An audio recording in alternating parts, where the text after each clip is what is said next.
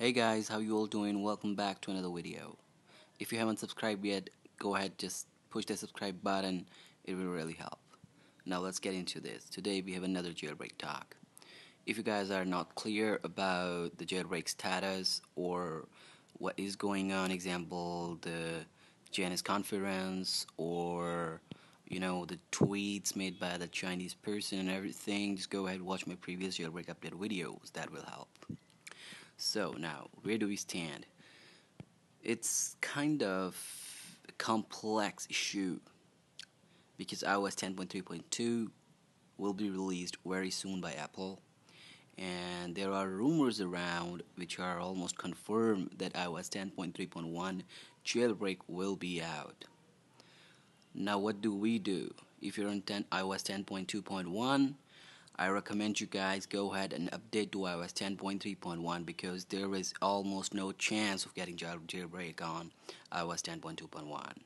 The basic reason is there is just no point in releasing the jailbreak for now iOS 10.2.1.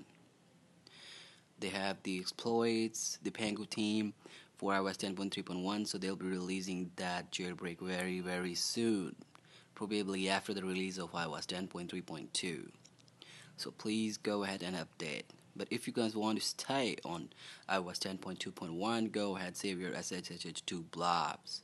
And if you don't know I'll make a video. Just thumbs up on this video five likes and I'll make a I'll make a video on how to save SHSH blobs. So when will the jailbreak be released? To be honest I don't know.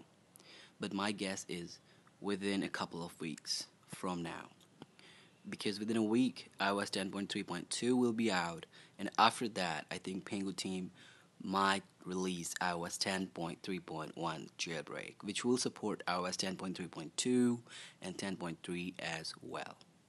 Thank you so much guys for watching the video. Thank you guys for your time.